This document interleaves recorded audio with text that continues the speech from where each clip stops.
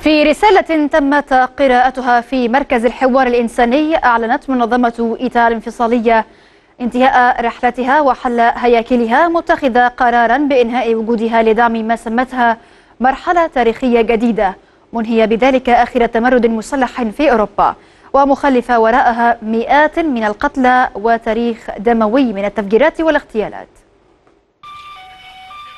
بعد قرابة ستة عقود من المطالبات الدامية التي أسقط خلالها حوالي 800 قتيل وآلاف الجرحى أعلنت حركة أرض الباسك والحرية الانفصالية والتي تعرف بحركة إيتا عن حل نفسها تماما وإنهاء أي نشاط سياسي لها. إيتا التي تأسست للمطالبة بإقامة دولة مستقلة بمنطقة الباسك شمال إسبانيا وجنوب فرنسا أعلنت تفكيك كل هياكلها في خطاب نهائي مؤرخ وزعته على وسائل الإعلام المختلفة. حكم الدكتاتور فرانسيسكو فرانكو عام 1959 تأسست هذه الحركة الانفصالية نتيجة للقمع السياسي والثقافي الذي عانى منه سكان منطقة الباسك متخذة من العمل العسكري وسيلة للمطالبة بالاستقلال. وذلك من خلال تنفيذ عمليات اغتيال وهجمات بالقنابل في كل من إسبانيا وفرنسا. كان أبرزها اغتيال لويس كاريرو بلانكو وهو من اختير خلفا لفرانكو في عام 1973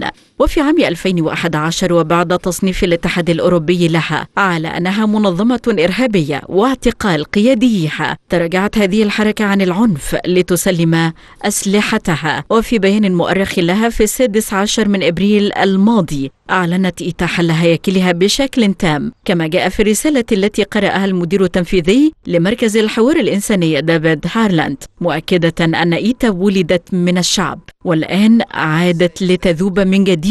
وسط هذا الإعلان الهام والرامي لإنهاء آخر العمليات العسكرية الأوروبية. يليه مؤتمر دولي في إحدى مدن الباسك الفرنسية وهي كامبو ليبا. ويحضره ممثلون عن أحزاب سياسية إسبانية. ستمثل ضمانة لحسن نية الحركة المنحلة. رئيس الحكومة الإسبانية ماريانو راخوي عقب على إعلان إيتا بأن الحركة لن تحقق مكاسب من وراء ذلك مشيرا إلى استمرار التحقيقات حول جرائم الحركة مع تأكيد على عدم إفلات أي طرف من العقاب.